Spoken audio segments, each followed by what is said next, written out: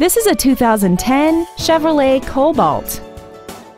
This compact has a four-speed automatic transmission and an inline four-cylinder engine.